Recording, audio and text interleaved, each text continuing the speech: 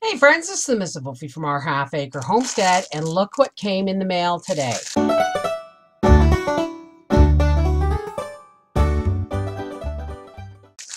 This is my, I guess it's called a messy bun. And I want to test it out because I'm going to a wedding in January and this isn't the best look for it all.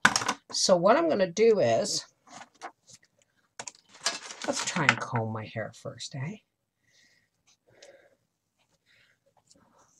I my hair has finally got to the color where it's pretty. I have to say it's pretty. Because look at this beautiful, these beautiful streaks. So anyway,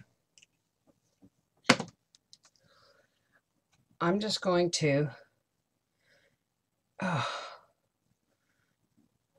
make myself a top knot.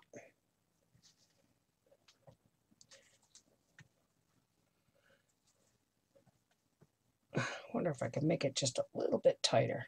Yeah, I can do that. Let's do this. And I'm just going to pull my ponytail through, kind of like that. Okay, you see that? Okay. Now, this is not real hair. It is synthetic. And it just kind of looks like a bun, doesn't it? Oh, it's okay. So it's like a scrunchie. Gotta find the center. And I'm just, you're supposed to be able to just put it over this. And then actually, I don't have to do nothing. Look at that.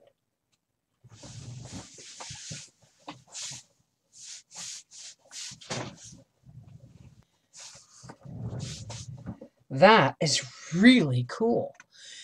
So this is going to work for what I want it for, for the wedding. Now, I didn't even double it or anything. I'm just going to, I'm going to put it back in its package because I don't want to play with it too much. It might become, it might, you know, become disarrayed. But you know what? They, I would have ordered salt and pepper because look at my hair salt and pepper. But salt and pepper actually looked silver. And this is the silver, which was darker and actually looks more to my regular hair. So, I mean, don't go by what the it says on it. Go by the color match. But yeah, this is going to work really well for what I need it for for the wedding. And yes, you see the box with the Christmas tree. That is also coming in the next few days. This is the Miss Volfie from our half acre homestead saying, Messy bun, it's not real hair and it, it cost me $10, but guess what? It's going to do the job, if only for one wedding. But hopefully I'll get more use out of it than that. Take care. God bless. And yes, I bought that on Wish.